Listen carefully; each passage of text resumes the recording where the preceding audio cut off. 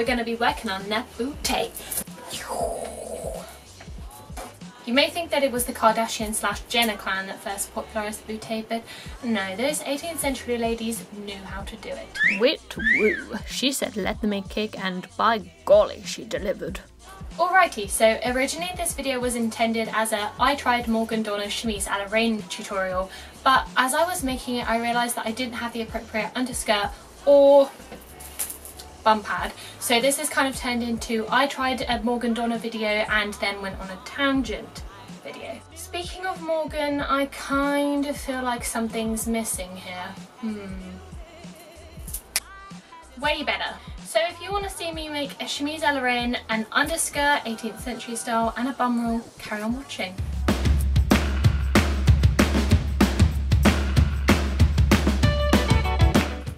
Yeah, so for this amount of fabric, I think there's not enough room in my bedroom. Okay, way better. So the first thing that Morgan does is she takes her dress form and then she pins the front and the back. I've just basically folded the fabric here so this is on the fold and then these two edges are just the fabric folded over. Mine is actually way longer than her piece so I'm going to cut down here and then I'm going to cut the bottom as well to make the dress length. I'm not going to have mine shorter at the front and then longer at the back. I'm just to have it all the same length for ease. So yeah, I repinned the front and the fold and cut off the excess fabric from the back, side and front. Yep, you can take it to the barber shop if you want. And then I chopped off the bottom a bit longer than where I wanted it to be to allow for the hem. Then one at a time I pulled two scraps of fabric around the mannequin, one just under the boobs and one at the waist, and marked with my heat erasable pen the rough points as to where the ties needed to go and we are already at a mistake. In fact, a mistake on a mistake, a meta mistake if you will. Now in Morgan's video she accidentally attaches her waist drawstring and then does the next drawstring below it instead of above, which meant that she had an excess of fabric at the top of her mannequin with which to create the collar for the dress. Now, I did mine correctly and so did not have an excess of fabric at the top, so once I realised this, I corrected myself and positioned the waist and underboob drawstrings lower down on the body. But before adding any of the drawstrings, I first sewed the front and back panels together at the centre back using the French seaming method. To deal with the raw edges at the centre front, I just folded them over twice, ironed them and then sewed them down. Okay, so now that I've French seamed, I am going to add in the channels, which are actually drawn on, but you can't see them very well. There they are. As per Morgan's instructions, I pinned the channels on with white cotton tape and then sewed just one side of the channels down at a time. This was because I was ambitiously planning to insert the drawstrings themselves and secure down the other side of the channel at the same time. But before I could add in the drawstrings, I actually had to make them, which I did by cutting out long strips of my white fabric and ironing them into bias binding shapes before sewing down the length of them to secure.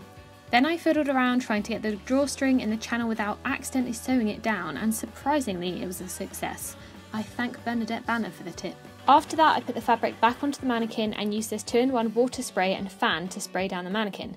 This is to relax the cotton fibres and would make it easier to manipulate the fabric into the correct shape. To do this, you just have to kind of keep tugging and repositioning the fabric until you're happy with it. Guys, it's the next day and I'm channeling 70s uh, Firefly Lane look. I just watched an episode and I really like the 70s bits. I kind of wish the whole show was set in the 70s, honestly. But anyway, today I am going to basically zhuzh up the waistline because Morgan says that gravity will make the waist go down and you don't want that as it will make a ballooning effect. So I'm going to pull up the waist, I'm going to smooth the top of the neck area and then I'm going to pin where I want the neckline to be. Then I'm going to draw in the little neckline uh, cut out the armholes. You're gonna see. Let's go. Okay, so I've zhuzhed up the waist a little bit as much as I can, but I can't do too much because her boobs are kind of in the way. And I've just smoothed around the top here, so you can see like that, just so that I can get an idea of where the gathers should be going. And I'm gonna actually just draw in where I want my neck line to be with my erasable pen. So, yes.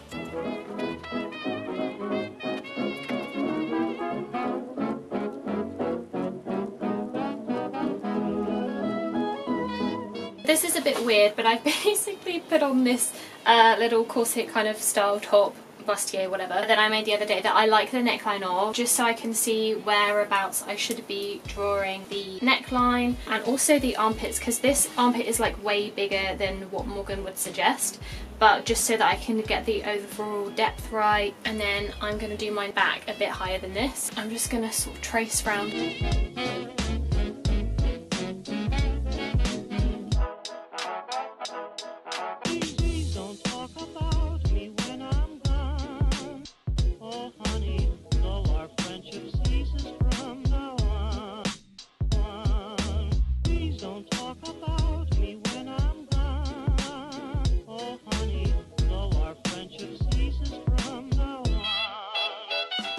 Once I'd done that, I took the dress off of the mannequin and pinned on the top channel, which is the one that acts as a neckline, and then I measured 14 centimeters away from this channel all the way around the top and chopped that off to make my collared ruff thing. After that, I sewed on the channel, which would have been lovely and uneventful, but I ran out of the cotton tape, so I had to make a makeshift channel out of a spare strip of cotton, which I overlocked on each edge and then attached on in the same way.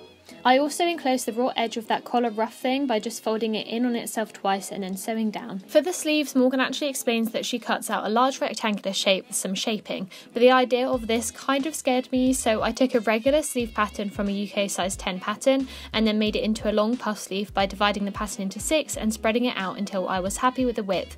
I go into way more detail as to how to do this in my Bridgerton sewing video, so I definitely check that out. I then curved the back so that it would have more fabric and this is what Morgan suggested to do. So I pinned and cut those sleeves out with the fabric folded so that I would have two sleeves and make sure you mark the notches so you know which side of the sleeve is the front and which is the back. Then I made my stitch length super long and did two gathering stitches in between the sleeve notches so that they would actually fit in the arm side. I then French seamed the length of the sleeves close to and then they looked like this. To hide the raw edges at the cuff, I just rolled and sewed again, very simple but gets the job done. Then I pinned on the sleeve channels where I wanted them to be, one at the midpoint between elbow and shoulder and then one at the elbow itself. And I'm not gonna lie, I kind of just eyeballed this bit. But then instead of using the drawstring ties like I had for the body of the dress, I actually committed the huge sin of using elastic and was swiftly punished by the historical costuming gods because I cut the elastic way too small and now whenever I wear this dress my wrists and hands turn blue because of the lack of circulation. Karma, bitch.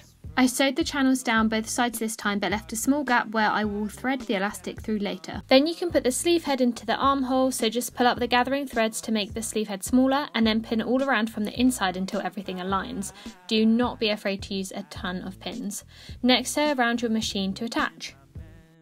Finally, you can take the elastic pieces you cut earlier and thread them through the four arm channels and sew up that little gap you left before. It's the next day and I look kind of the same except for my jumper because I have the blue eyeshadow on again. It's a look, what can I say? So now the dress is done, but watching Morgan's video back, I think she's wearing some sort of like bum roll. Now, it was at this point in the project when I realised that the daily squats and protein powder consumption I had been partaking in wasn't going to cut it if I wanted appropriately sized 18th century derriere. So reinforcements were called in and I put myself in with plastic surgeon. Wait, what? No, I didn't. I made a bum roll. Okay, so what you first need to do is measure around your waist from the front of each hip bone round to the other side, and then use a French curved ruler like this to measure that length, plus a few more CMs just to be on the safe side on some paper, which will then become your pattern. You then want to draw out a crescent moon kind of shape and divide the crescent up into four sections. These are going to become your stitching lines. Then round out each of these lines at the bottom to make a giant pinked effect. I really just eyeballed this whole process and it kind of turned out fine in the end, so trust the process, man. After that, I pinned and cut out my pattern from this medium weight calico. I cut it on the fold and did this twice so that I would have two identical pieces.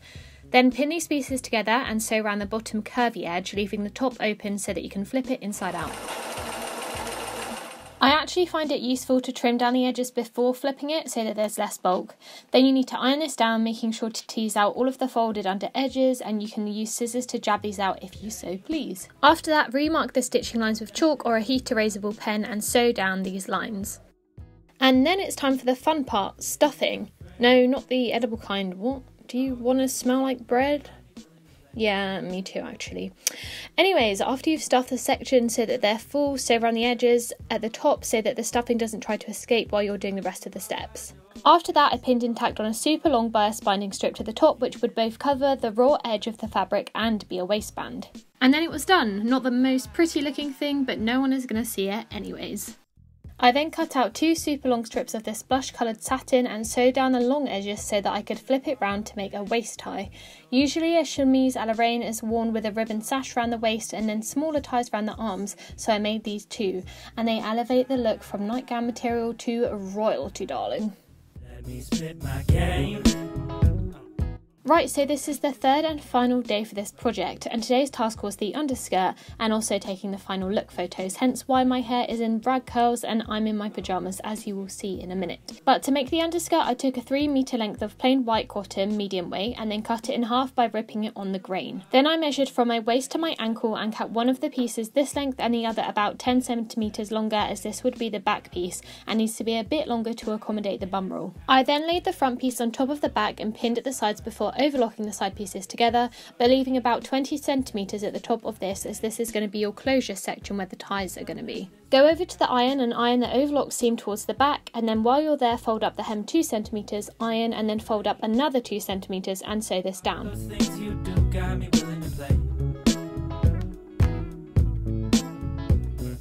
After that, take the skirt back to the ironing board and fold in those four unoverlocked edges inward twice, iron, and then sew them down too.